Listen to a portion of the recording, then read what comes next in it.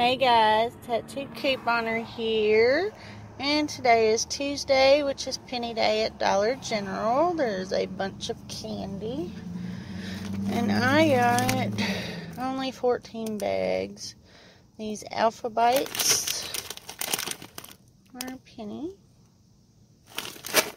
These Sunny D liquid scented gummies. And I got the chocolate mint puffs. There is so much more. They have Trolli, Big Bold Bears. There's Hershey Drops. There's Reese's. There's Now and Later Duos. If you haven't downloaded the DG app, do that. If you see any candy on the clearance aisle, scan it because there's always surprise pennies. So, there it is. That's what we got. I hope y'all find more than I did. Thanks for watching. If you haven't subscribed, please subscribe. Bye.